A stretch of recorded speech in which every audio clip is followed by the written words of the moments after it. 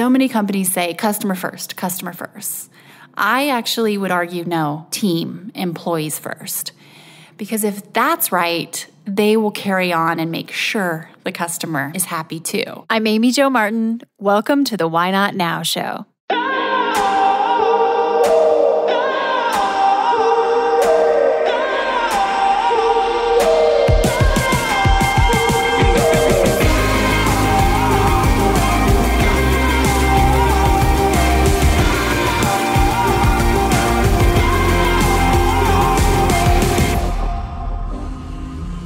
Know that thing you've been thinking about doing? Yeah, that one. Why not now? Have you ever actually taken the time to ask yourself, what's stopping me? Let's talk it through. This is your chance to give that idea the attention it deserves and take action. Each episode, I have a chat with a fascinating person, from entrepreneurs to athletes, celebrities, my parents, rocket scientists, and all walks of life. We talk through a critical time when they've asked themselves, why not now? We dissect that day or even that moment, step by step.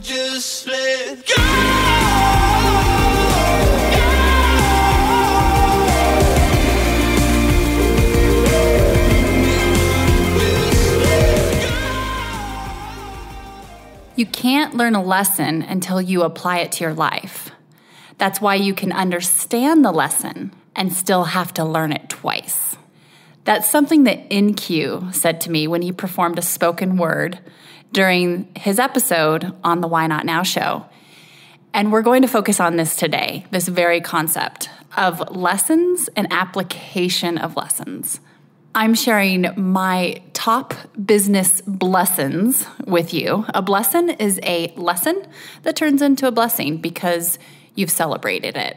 I'm all about applying the lessons. In fact, that's one of the reasons why I ask the question almost to every guest on this show what's one lesson you find yourself learning over and over? So ask yourself that right now, whether it's personal or professional. What's one lesson, one trend, one pattern that you see yourself doing over and over and having to relearn this lesson? And maybe the trick is that you're just not applying your learning. You understand it, you understand what's going on, but you actually aren't applying it to the next situation. And so this pattern and this cycle continues and continues. We all do this. And as a heads up, the new dates for the next Renegade Brand Bootcamp program and enrollment have been announced. You can head to renegadebrandbootcamp.com if you want to learn more. This is the career love of my life. I absolutely adore and love this program because it's a collection of like minded and like hearted driven women who are coming together to level up. I share everything I've learned over the last 20 years in business. I share all my blessons, and um, it is equal parts education, collaboration, accountability and community. So, if you are looking to level up with your business, with your career, um, you might check it out, renegadebrandbootcamp.com, especially if you are looking to really grow your personal presence online. Understand your brand essence and how to articulate that forward. What do you do? Who are you? What is your personal brand? And um, maybe you're looking to launch a podcast, write a book, do more public speaking, really inject your why into your business and your story to create that connection because connections convert. So, all of those things, if that sounds interesting to you, head to renegadebrandbootcamp.com. All you have to do, really, as the first step, is sign up for the emails. I'll help educate you on what this is about, and you can decide if it's for you or not. Uh, one of the things that I learned a long time ago from Mark Cuban was that the biggest investment we can make is the investment in ourselves. So when I went to him seeking investment advice, I thought I was going to get some real estate or stock market guidance. And he said, absolutely not. Invest in yourself, invest in your own growth, your company's growth. That is the best ROI you will ever have. We tackle the most taboo topics on the Why Not Now show Oftentimes, you're hearing guests share things they've never shared before. In the spirit of things we don't typically talk about, you should know that the Why Not Now show is supported by Poo-Pourri, the original before you go toilet spray. It's magic. My friends at Poo-Pourri have literally taken the smell out of you know what. This pure blend of essential oils stops bathroom odor before it begins. Visit poopourri.com and Why Not Now listeners get 20% off with code Why Not Now. That's all one word. And you can hear the story about Poo-Pourri in our interview with founder Suzy Batiz. That's Why Not Now, episode 28. Poo-Pourri is also available at Bed Bath & Beyond.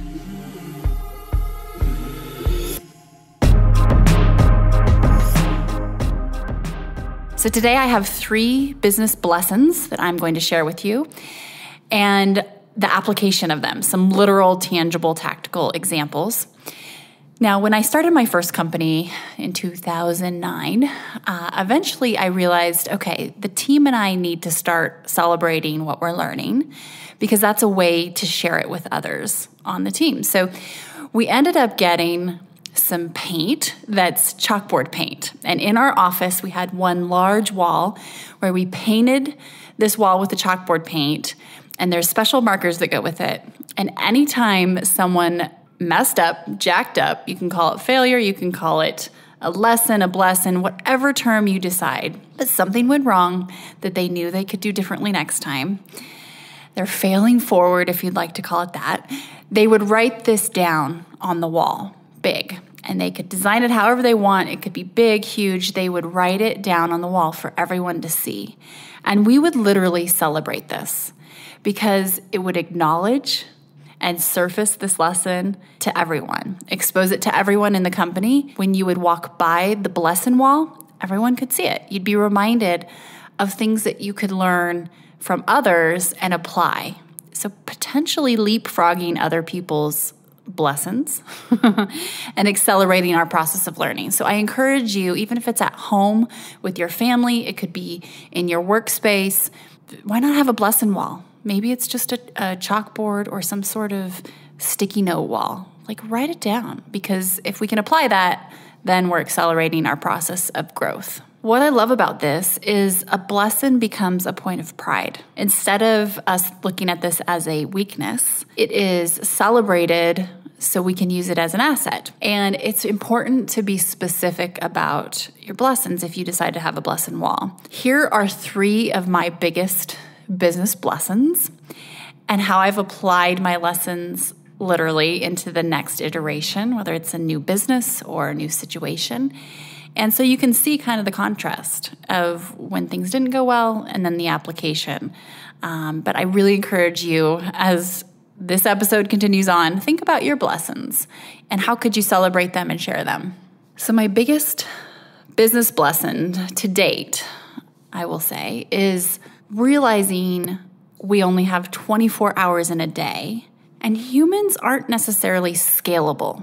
This is this was a really tough one for me to understand and there are ways around this. So technically there are things we can do to quote unquote scale ourselves. However, if we don't understand our human capacity, it can be detrimental to ourselves as individuals in our personal lives, but also in our business and everyone around us in our businesses. So, in my case, you know, most of you, whether you have a business or you're thinking about starting a business, you realize that you are the face of the brand. You are the face of the company, the human behind the brand. And that's so important. I talk about that all the time and really hang my hat on that. However, it's important to set ourselves up, whether it's a small company, a company that doesn't even exist yet, but it's in concept, or you're years down the road and and you're just now kind of coming to this conclusion. It's important we set ourselves up for success. So in my case, when I first started my first company, I definitely was that, you know, human behind the brand. I was the company, right? Most of us start that way, even if it's not a service based company. It could be, you know, you're, you have some sort of product you're selling. You're still it. You are it. And that's important and that's key. But if we make it to where the whole company resides on our hours in the day, literally, then your opportunity for growth is stinted, right? So, a few ways around this. And first, actually, let me share what I did. So, here, I definitely was the face of the brand and had an agency. And because of the way that the trends were going with social media and things were, were evolving so quickly, it was kind of the wild, wild west days. People were looking to me for what, you know, they could learn from my case studies. And we started growing and adding more clients. It was a service based company. You know, we were basically sharing our expertise, which becomes your time unless you find a different way to distribute it. Well, I found myself, even though I was hiring more people to join the company and we were growing very quickly, people were still looking to me as the expert. To a certain extent, that's okay, but when it becomes the point where you have to be in every single meeting, regardless of where they are around the globe, that becomes unsustainable, right? Because we only have 24 hours a day. We can only be on one plane at a time, and eventually you start to burn out if you are not sleeping and trying to be all things to all people in all places. So it was important to realize this was this was a tough lesson, man. I mean, I, I really did literally burn out. And now what I realize after kind of reframing and applying this understanding, I realized there are things I could have done differently.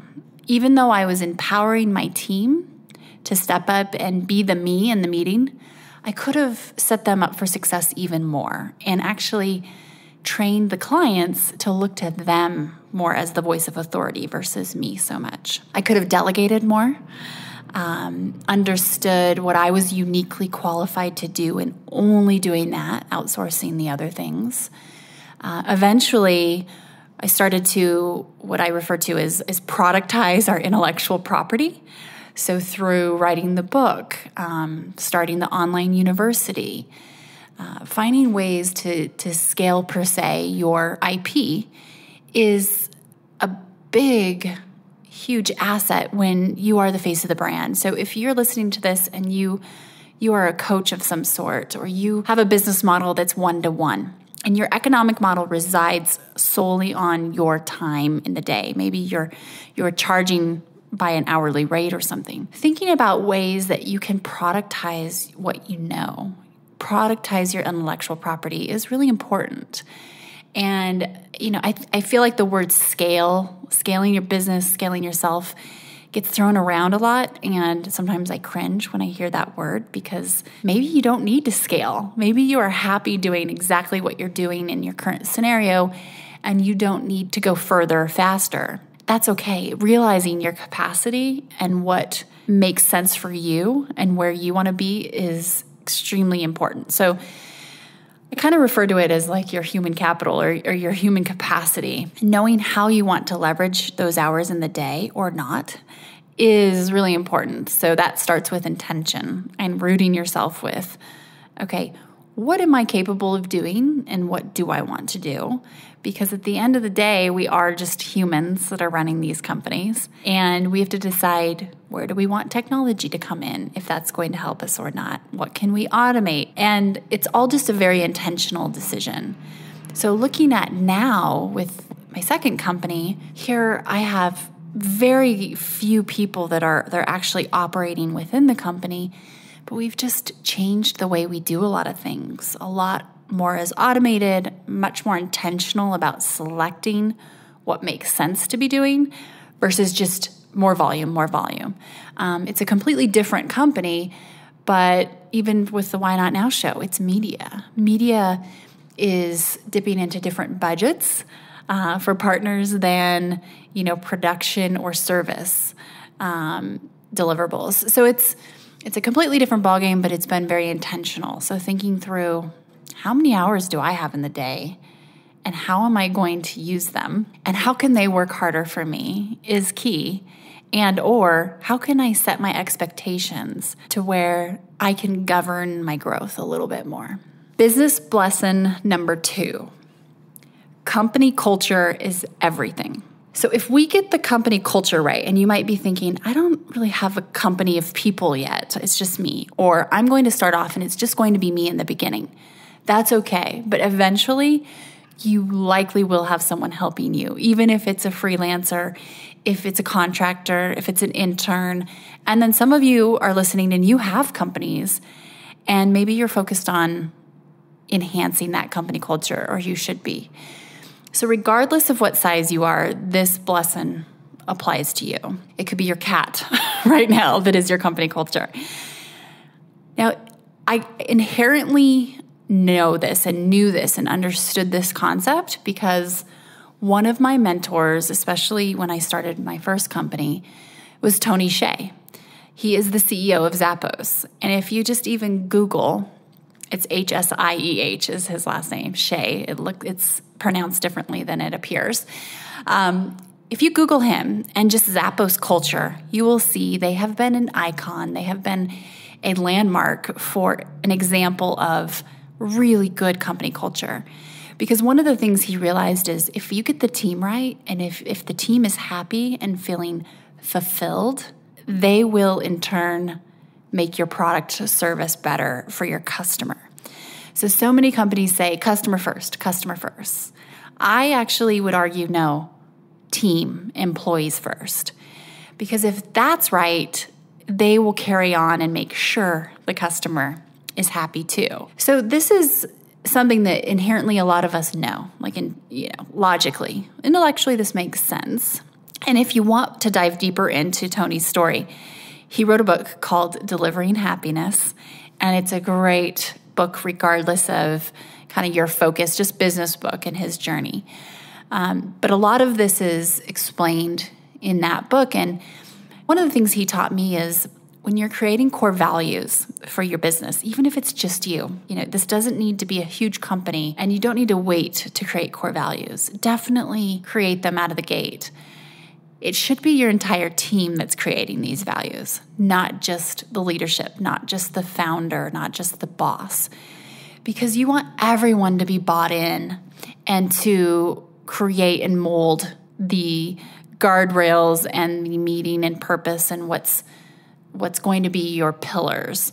It's important because if that's dictated, then not everybody's going to be bought in and invested in this. So, what I've done is, you know, sometimes I'll throw out a couple and ask everybody to build an add on, or we'll start with a list. Um, with with my first company, you know, we grew pretty quickly, so we were revisiting our core values fairly frequently. And we created them together and then we check in, you know, once every six months and say, do these still hold true? Do we need to make any just adjustments? Do we need to remove any, add any, edit any? And we decide as a team, and everybody collectively is on the same page with the core values. And they don't feel like they've just been dictated and slapped on the wall and there are these guardrails that that weren't created by the whole team. I think it's important too to realize these are fluid. As you change, your company changes, your team evolves. That's going to make an impact on your core values and the reflection of them to a certain extent. I wouldn't say you're going to do a 180 necessarily, but it's important to keep revisiting these and to truly have them be you know, not just a nice saying, a company line, but living the core values and making sure that you are walking the talk. All of you, not just leadership, everyone. And back to the concept of culture, team is everything, I think about hiring and firing. And another thing that I learned from Tony Hsieh was we wait too long to hire and we tend to wait too long to fire.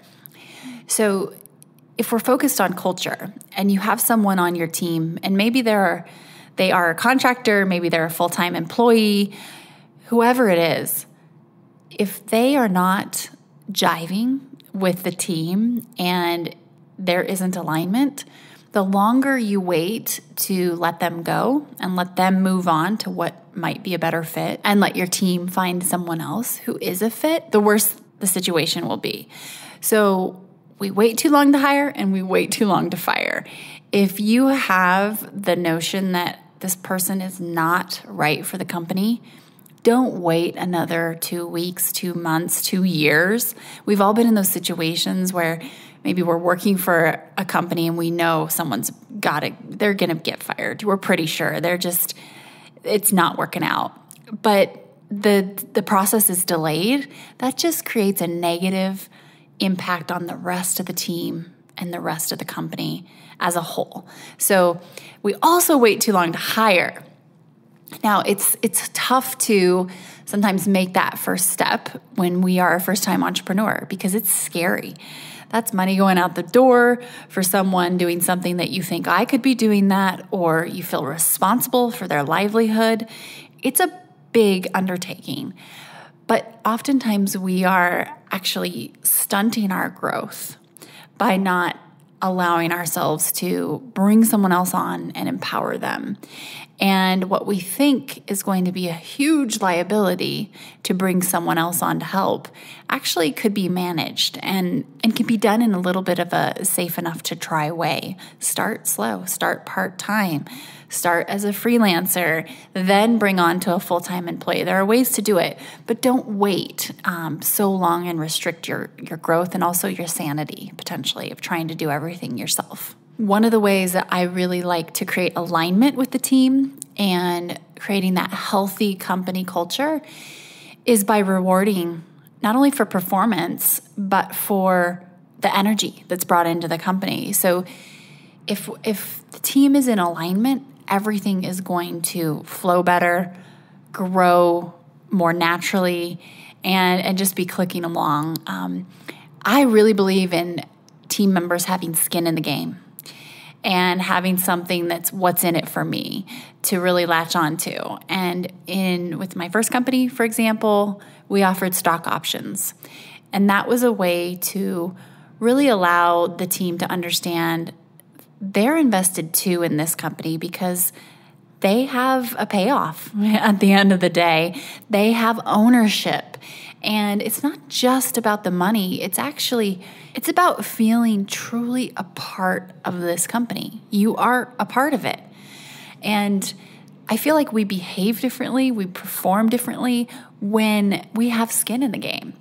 And it's not, again, I, I, can't focus on this enough. It's it's about a mentality and an attitude of alignment just as much as the potential ROI and, and having that upside. So if there's a way you can offer an incentive program or reward your team. It may not be stock options, maybe there's another function that's really important in my mind. And also understanding the people that you're working with, that you are either employing or um, if you're working with a freelancer or a contractor and even an intern, understanding what is their biggest form of reward. It's not always money. In fact, with my first company, I realized they might they're a little bit of a different generation than I was. I I was brought up thinking, okay, you get in, you pay your dues, you start to earn more money, and it's just a little bit of an older school mentality. Yes, that's always going to be true to a certain extent, but not everybody is just financially motivated. For example, there were quite a few people in my first company that I employed who almost would rather take more time off than a higher salary. And so their time and flexibility or ability to work from home at times was more valuable to them than a bigger paycheck. So asking the question, understanding what motivates my team. It's not always money. And there actually might be a better outcome if you can find the right formula for them because of course, time is money, but also flexibility and having an understanding that, you know, you can decide your own hours maybe. That might be worth more than an extra $10,000 a year to someone. So asking the questions and understanding, getting to know what motivates these people. I think one of my blessons on this front was, um, you know, company culture is just a big term that gets thrown around. It's not having an ice cream cart show up on Fridays at all true culture and having you know a team of people that are invested in each other not just professionally but also personally it comes with its own complications right when when everybody's friends at a company like best friends and they hang out after hours they hang out and love each other during, you know, work hours and work kind of bleeds into all times of day and days of the week because it's the it's it's an alignment thing. You have a parallel and you have something in common. It comes with challenges sometimes because your relationships and your emotions are that much deeper. And I know for me, I tend to hire people I like. Like who doesn't, right? I mean, to a certain extent, it's it makes life so much more enjoyable and easier when you're working with people you like. And I do I do not uh, regret that. And also, I think there are times where with startups especially, everybody's so close and so tight. Sometimes it's hard to remove emotion from certain situations and to not take things personally because you have such a relationship and history with that other individual. And as the founder, as the entrepreneur, someone still has to be in charge per se, right? and so it does make it a little bit more challenging, but it's definitely worth it. And I think you have to have that much more emotional intelligence if you are going to run your company that way. And there are times where I think, you know, I would fall in and out of that, where sometimes you have to have that hat on of being the boss, and then you might other times be hanging out with your best friend who happens to be someone you're employing. And so being really cognizant of that relationship and understanding boundaries, but also understanding this is just an innovative way to approach this. It may not look the same as anyone else, but it works for me. There, there is no right or wrong, but being really intentional about managing those relationships is is key because it can get very sticky and tricky at times, as you can imagine. We're going to take a quick break and we'll be right back. If you are digging this podcast, please do us a favor and subscribe rate, and review on iTunes. It just takes a moment and it means a ton to us. Also, after recording more than 100 episodes, I've created a bit of a cheat sheet on the top five things I've learned from renegades and how they get from idea to action, from dreaming to doing. I will email you the downloadable PDF when you subscribe to my newsletter. Just head to amyjomartin.com and click on Connect with Me. Business lesson number three focus. For sure, this is, um, you know, a little bit of a trap I've fallen into from time to time to time, and that is I have something called shiny object syndrome, where if things are clicking along, the business is doing well, I think, oh, this over here could be added. It's, it's kind of like distraction, shiny object syndrome. And there's a good and bad to this because, yes, you want to be open minded about different opportunities, divisions, ways your economic model could be enhanced or added to. Streams of revenue. Oh, don't we love adding more of those? However, so many cases I have seen myself then lose focus of the core competency. So I'll never forget there was a time where we thought um, at my first company it would be wise to add a tech division because we had this wizard tech person and we were starting to see the supply and demand needs um, meet each other. And we thought, oh, let's add a little tech division and we can help solve these problems for our clients too. That was not our core competency. And it actually was a distraction. And I look back and I laugh now, but we probably could have saved a lot of time and money if we wouldn't have gone down that distracting rabbit hole. So be careful of that shiny object syndrome. Let's say you're starting a bakery. Great. Focus on the bakery. If it's brick and mortar, you have a retail bakery outlet, focus on that. You probably don't need to be starting a catering division right now or finding ways to sell merchandise around the bakery. Like, just focus on the core competency. It sounds so obvious, but it becomes so easy to start to spin off and think that you're adding these other components to the company that will make it so much bigger, yet it's actually going to take away and be potentially detrimental to the company. Especially with the founder having shiny object syndrome, like I tend to have at times, you're setting the tone. So you are setting the tone of what the priorities are for the company. And if you're constantly looking around and changing gears, your team will be too. And then there's no focus, and then there's very little productivity in a straight direction. So, shiny object syndrome, it can get you, let me tell you. And I love a good old pendulum swing. So, if I find myself with shiny object syndrome, sometimes I'll swing and do a 180 and be hyper focused. And if we have blinders on, we're not being open to potential opportunity. So there is a happy middle way here.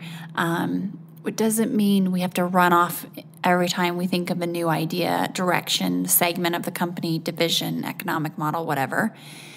But being open and taking note might inform a decision we can make in a year or in six months that could be a huge aspect of the company. So it's like being able to kind of dance and groove and play along and be friends with your shiny object syndrome and be like, hey, oh, I see you. I see what I'm doing right now. Note to self. And if that keeps surfacing five more times in the next three weeks, you might actually give it more attention. But it doesn't mean changing your day at noon and saying, okay, we're going to go off in this direction, 100 miles an hour. That's not probably the smartest. And with this lesson I've had many times about focus, starting simple, as simple as can be, is best because you can always add from there. And I think sometimes we get so in our own game that we forget our customers. They don't have the context, they don't have the history. If they are interfacing with this idea for the first time, it needs to be simple. If you can't explain your idea, your business concept to your mom or to your cat in a quick, eloquent, simple way, then revisit for sure. Um, you might have this grand idea, and maybe in five years you will get there, but start with the most core key 30% first, and then add the different areas and, and layers. Um, starting really simple is key. So, the net net here, the moral of this story is celebrate your blessons, own them, call them out. They are not a sign of weakness. It is not doomsday. You're not failing. You're just being smart about it, right? And share them. Share them with your team, share them with your community. If you have a you know group of people that you collaborate with, share them and encourage them to share theirs as well. Because we truly can accelerate the process of learning, of growth, of pr- just progress if we do share those because we can leapfrog other people's blessons, snag their lessons free of charge, and apply them. And on the personal side, I can tell you one of my biggest blessons lately, it's something I continue to learn until I apply it more and more, is pace. I tend to go really quick out of the gate, and I just, I think a sprint is gonna be great. And it turns out, of course, that's not sustainable. So I continue to learn the pacing lesson, blesson, um, over and over, and I do apply it. And it seems like it will either always creep back up or it'll elevate. It's like a, a new layer, a new, you've got your master's in pacing, and now it's time you get your PhD. And I get schooled again. So, pacing, whether that's personally or professionally, is is so key. I look back at times where I would sprint and get ahead and it would feel good, but then I'd have to rest for so long, or maybe I'd even quit. And then everybody else would just catch up with me. So if I would have paced a little bit better, I, I would have probably gotten to the, you know, whether it's a reward or to the outcome at the same amount of time it would have taken me if I wouldn't have sprinted or if I would have sprinted. So, yeah, pace is your friend as well. That concludes my blessons. I have a million more, uh, but those are the ones that come really top of mind. I encourage you to share your blessons with me and with this Why Not Now community. Make sure you are in the Why Not Now private Facebook group if you want to be collaborating with everyone. Share your blessons. I would love to hear them. We can celebrate them together. That can be the blesson wall on the Facebook wall, and it can be our virtual blesson wall. The other thing that I've done with teams, and I have right now with my own team, and with the Renegade Brand Bootcamp alumni, we have Slack channels or Slack workspaces. And one of the channels in the workspace is blessons and we celebrate them in there. So there's a way to do this virtually, even if you don't have a, a, team of people per se, but you're just collaborating with, with people that you are learning from. Have a blesson wall. Why not? Back to the words of NQ, I will wrap up by saying you can't learn a lesson until you apply it to your life. That's why you can understand the lesson and still have to learn it twice.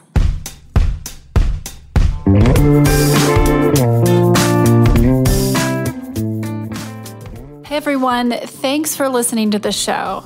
Hit me up on social media to let me know what you think. I'm at Amy Jo Martin on Twitter, Facebook, Instagram, and LinkedIn.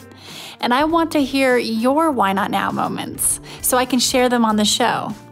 Just send me a note to why not now at amyjomartin.com.